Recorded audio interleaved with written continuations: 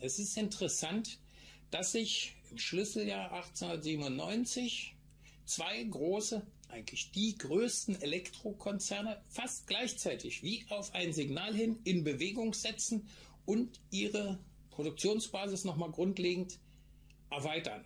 Das ist äh, an der Oberspree, ja, die Mannen von Emil Rathenau gründen Oberschöneweide, beginnen ein Kabelwerk am Wasser zu bauen. Danach entsteht dahinter eine äh, Siedlung, keine Werkswohnungen, aber im Zusammenhang mit den Fabriken und dahinter liegt die Heide.